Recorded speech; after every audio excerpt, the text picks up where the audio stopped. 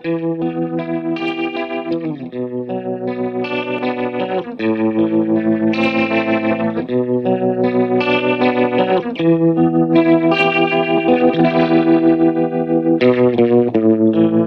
you really think I'd just forgive and forget?